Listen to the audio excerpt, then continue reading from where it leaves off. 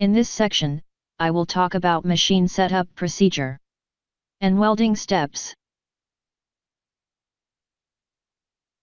Double check if you have put on all the required PPEs before welding. And make sure you have all the needed tools with you. To start welding, place the workpiece in the position where you will feel comfortable. Lean into the work and brace yourself properly to take the stress off your welding hand. Set the voltage accordingly, based on the material used and welding position. For example, welding steel in a horizontal position with 0.045 inch E71T wire, requires voltage ranging from 20 to 22.5 volts. In this movie, we are welding in the horizontal position, and the voltage is set at 22.5 volts. Check the gas flow, make sure it is set to 30 to 40 cubic feet per hour. Check to see if your welding gun feeds by pressing on the trigger. Snip off any excess wire from the tip of your gun. And lastly, put on your welding helmet. The following are the steps to weld from the root bead to a half-inch weld. In a vertical weld, you work from the bottom of the joint to the top. Strike an arc at the bottom of the joint. Begin traveling upward by weaving the tip of the gun about 1 8 inch from side to side, pausing slightly on each side of the plate. Watch the puddle. The base metal will melt first, then the molten filler metal from the wire will start to fill in. As soon as the indent fills, quickly move straight across to the other side. Always weld ahead of the puddle. Your root bead should have even legs of a quarter inch. Now I will show you how to step up from a quarter of an inch weld to a 3 8 of an inch weld. Before starting to weld, place your 3 8 inch fillet gauge over the existing root bead. Visualize the gap that you need to fill. With the vertical fillet joint, you have the option to only weld one additional bead. This second bead must completely fill the gap you saw when you visualized the weld. Hold the welding gun at about 45 degrees. Continue to travel up the plate, weaving the tip of the welding gun from side to side until the entire joint is welded. Remember to chip the slag after you finish welding the bead. Now I will show you how to step up from a 3 8 of an inch weld to a half inch weld.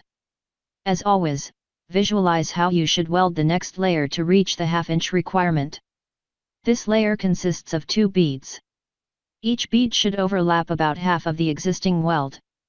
This is accomplished by weaving the tip of the gun from the toe of the existing bead to about the middle of the existing bead.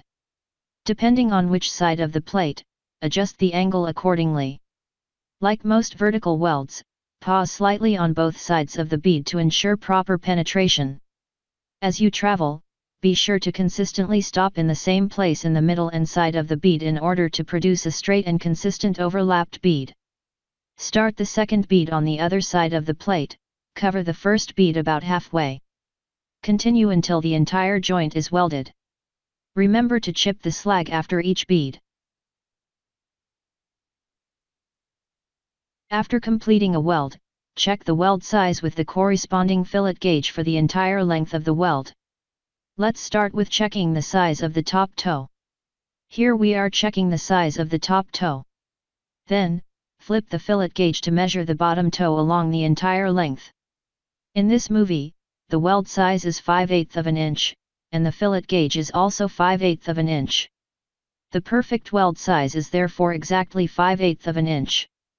The weld size is acceptable if it is an eighth of an inch bigger than the specified size. If the weld size is smaller than the specified size, it is not acceptable. Make sure the entire length of the weld is within the acceptable range. Here is the summary of the welding procedure for the vertical fillet weld. 1. Place workpiece in the vertical position.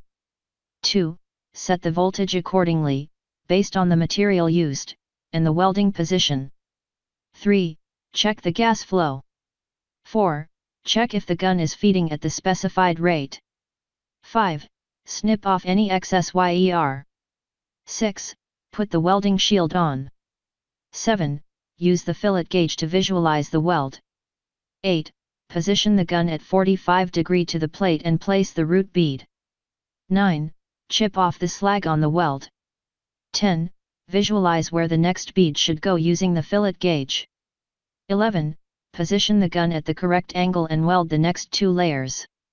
Remember to chip off the slag after each bead, and visualize where the next bead should go.